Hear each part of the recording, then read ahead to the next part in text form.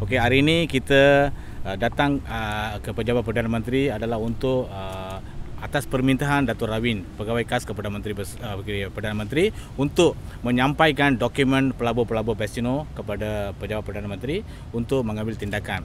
Di mana sebelum ini pada 31 Oktober semasa pelabur-pelabur Bestino berkemah di sini, pada hari itu Datuk Rawin Ponea uh, meminta pihak uh, AJK ataupun pelabur-pelabur mengantar satu surat kepada pejabat Datuk Seri Husni melalui pejabatnya uh, peguam kami iaitu Tommy Thomas untuk meminta satu temu janji untuk mengaturkan perbincangan uh, di antara AJK pejabat peguam negara dan bank negara pejabat perdana menteri dan kementerian kewangan dua. Uh, menurut uh, uh, nasihat itu peguam kami Tommy Thomas pada 6 November telah pun menyampaikan satu surat kepada pejabat perdana menteri uh, melalui uh, Datuk Rawin Ponea uh, dan dalam dalam surat itu ada ada enam uh, perkara uh, yang pentingnya adalah kita minta di mana uh, pada Jun 2009 bank negara telah uh, merampas dan bekukan 24.2 juta daripada wang pelabur-pelabur. Kami minta wang itu perlu dilepaskan.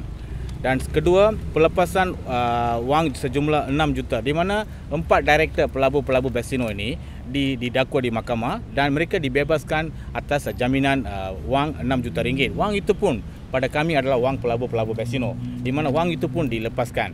Dan dan juga status dan pelepasan wang pelaburan di mana dalam 9, 9 Ogos 2012 semasa perbincangan dengan YB Menteri Kewangan 2 Datuk Aminuddin uh, Datuk Seri Husni dan uh, Profesor Politik Datuk Aminuddin dan AJK bersama dengan pengarah Besino pada hari itu uh, pengarah Besino berjanji bahawa dia ada uh, RM USD 146 juta di Virgin Island dia kata 80% of the document telah pun uh, siap dan akan uh, bawa dokumen itu dan kemukakan kepada Menteri Kewangan 2 dan itu uh, satu satu agenda. Kemudian dia kata dalam perbincangan pada 9 Ogos 2012, dia ada uh, gold bar di tangannya. Dan juga butiran aset-aset Besino terletak dalam dan luar negara. Inilah di antara agenda kita dah sampaikan kepada uh, pejabat Perdana Menteri untuk kemukakan kepada Datuk apa ni Usni.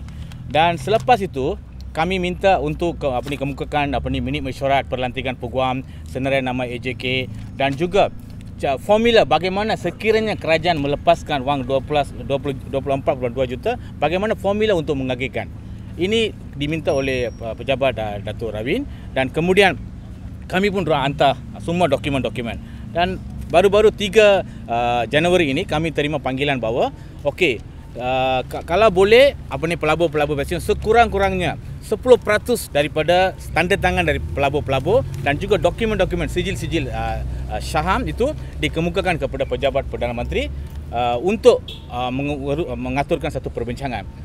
Uh, hari ini kami datang dan sampaikan lebih daripada 3000 share certificate. That means uh, more than 15% kita dah sampaikan kepada pejabat Perdana Menteri dan minta dengan segeranya mengaturkan perbincangan lima pihak.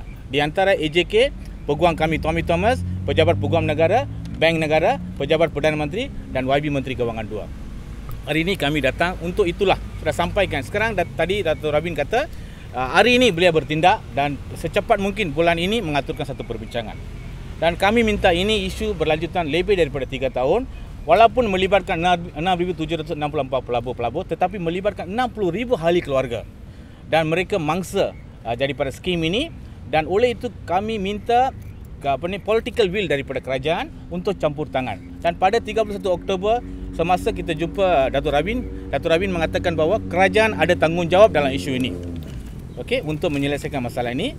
Oleh itu kami menyeru kepada apa ni pejabat Perdana Menteri dan juga Menteri Kewangan Dua tanpa membuang masa mengaturkan satu mesyuarat dengan segera dan kami mahukan isu ini diselesaikan sebelum pilihan raya. Kami tidak mahukan isu ini dilambat-lambatkan dan kami jadi mangsa seterusnya. Yes, we want the results. We want our money back. Wait and see. Wait and see, and also we hope that hopeful lah, not hopeful. happy lah. Uh, happy when uh, the issue is settled. Uh, settled. And also Hopeful. Uh, and before before and we, we don't want we are this issue delaying after the until the election lah. We want this January because Dr. Ravin Ponea 31st October he said he want settle this issue before the election. They promise also. Uh, promise. That, that's their promise. Their Issue promise. has been dragging for three and a half years.